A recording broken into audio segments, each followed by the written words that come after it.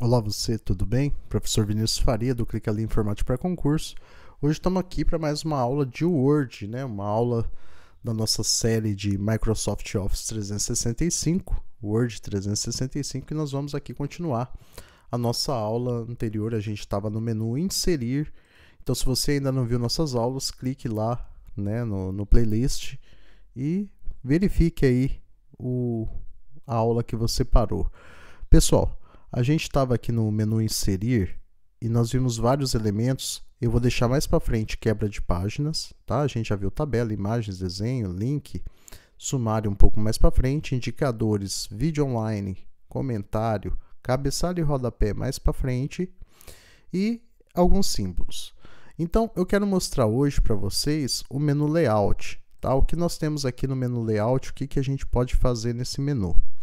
Então, Aqui no menu Layout, a gente trabalha com configurações da página, a gente trabalha com recuo e espaçamento dos parágrafos também, né? E a gente trabalha com a cor da página, a cor de fundo da página. Então vamos começar aqui por margens para a gente entender como funciona. Existem margens padrões, né? Essa aqui é a padrão, é 2,54 centímetros inferior, à direita, à esquerda e superior. O que seria isso? As margens são esses limites no qual o texto começa. Então, daqui até aqui tem 2,54 centímetros, daqui até aqui tem 2,54 centímetros. Então, o texto ele fica limitado a esse espaço interno. Tá? Então, isso seria a margem. Né? A gente consegue alterar a margem ao colocar um mouse aqui, sobre esse canto. Tá? Então, eu consigo fazer essa alteração de margem aqui. Beleza? Então, na divisão entre a parte cinza e a parte branca, que a parte branca é o limite do texto, aqui também você pode fazer configuração de margem, tá bom? Bom, mas tem como fazer uma configuração personalizada. Então, eu posso colocar uma margem superior, por exemplo, de 3 centímetros, né? Eu posso colocar uma margem inferior de 2 centímetros, eu posso colocar a margem esquerda de 3, eu posso colocar a direita de 2 e dar OK, por exemplo. Então, nesse caso, você personaliza a margem aqui. Né? O restante são é, presets, né? são configurações pré-definidas, beleza? Outra coisa também usada muito no, no Office é a questão de orientação. Então, vocês têm que saber o nome das orientações. Então, paisagem é o nome de orientação é, no qual o documento vai ficar na horizontal. Então, perceba que a folha ela fica deitada, tá? E nós temos como definir o tamanho desse documento também, que é aqui. Então, aqui é retrato, é em pé, paisagem é deitado, tá bom? E tudo isso também eu posso definir o tamanho do papel que você vai usar. O A4 é o padrão, é o tamanho padrão de documento, tá? Então nós temos o A4, que é o tamanho padrão de documento. Tá bom? Beleza. Aqui nós temos o zoom, né? E a gente pode ajustar aqui. Eu vou deixar então orientação retrato, voltar ao retrato, vou deixar tamanho A4, vou deixar a margem normal e vamos voltar o documento do jeito que ele era. Bom, nós podemos também digitar um determinado texto, eu vou copiar e colar aqui várias vezes, só para a gente ter um texto. Então, esse texto aqui, né, que está digitado, nossa, está difícil meu mouse. Bom, aqui eu tenho a questão dos recuos. Então, posso definir recuo, essa parte que, que define esses elementos aqui de cima. Então, os recuos à esquerda quer dizer que além do caso do, da margem, você coloca um recuo dentro do documento. Então, ele pode ser feito também por meio desse pininho de baixo aqui. Ó. Então, isso aqui é o que? O pino de baixo é recuo à esquerda. Tá bom? Então, esse pininho de baixo quadradinho, que está azul aqui, ele é o recuo à esquerda. Então, você pode recuar isso é muito usado quando a gente faz citações, que a gente define um recuo, né? E coloca um texto num limite diferente do que está programado aqui na página. Normalmente o recuo fica aqui, no início da margem, mas você pode definir. Da mesma forma que eu faço recuo à esquerda, eu tenho um elemento, um palitinho aqui, que se chama recuo à direita. Tá? Então eu posso fazer esse recuo à direita. O meu texto aqui não está fluido porque tem partes do texto que ele não conseguiu separar corretamente. Então a palavra ficou muito grande, ela acaba quebrando para outras linhas, né? Perceba aqui que agora que eu dei uma, uma separada no texto aqui, ele ficou melhor. Ó. Tem palavras que não consegue quebrar, por isso que não estava indo até o fim. Mas eu posso pegar esse texto também justificar. Então vamos no início, vamos justificar para entender melhor o recuo. Então recuo à direita, isso aqui.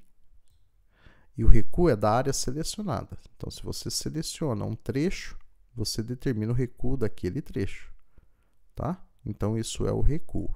Pode ser feito por essa régua ou pode ser feito aqui no layout.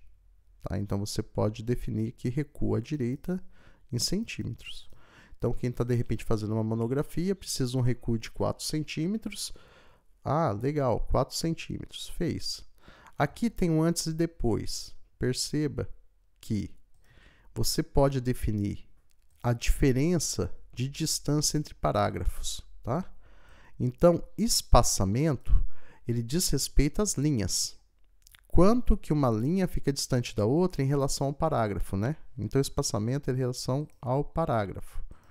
Então, quando você coloca assim, depois, quer dizer que todo o texto depois do parágrafo vai receber uma distância de 12 pontos. Então, conforme você diminui, você consegue zerar essa distância. Se você aumentar, você vai fazer isso. O antes, ele vai jogar para a parte superior. Então, assim, antes. Então, ele vai jogar antes do espaçamento. Perceba que daí a gente tem no último aqui, acabou não recebendo, né? Porque não estava selecionado. Deixa eu colocar.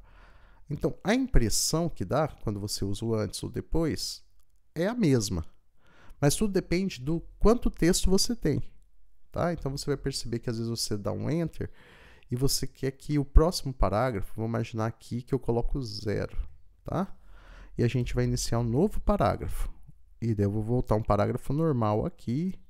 Então vou imaginar que eu começo um novo texto. Imagine você que você quer que esse espaço seja um pouco maior. Então você tem que usar o quê?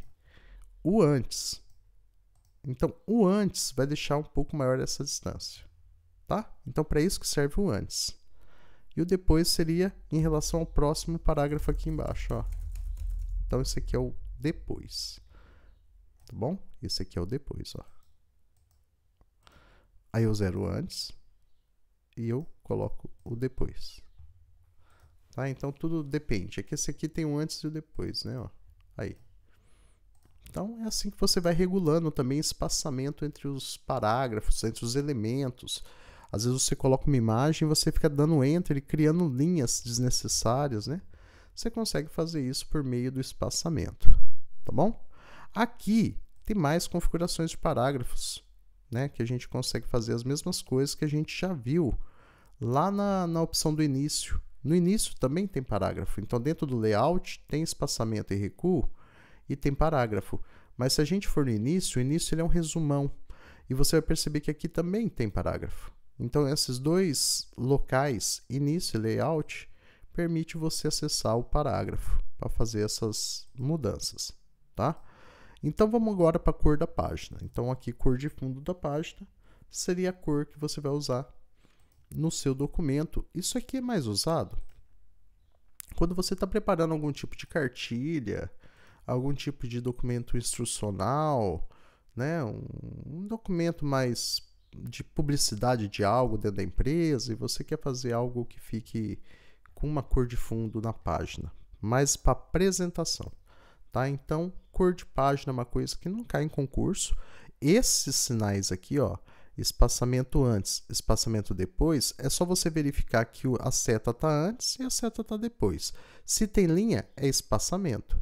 Se tem parágrafos, são recuos. Então, esses símbolos é importante você anotar, você saber o que ele funciona. Então, aqui à esquerda, aqui à direita, tá? Então, esses são os elementos que a gente tem que conhecer, né? Aqui em layout, eu acho que layout a gente não vai ter mais nenhuma é, propriedade para dar uma olhada.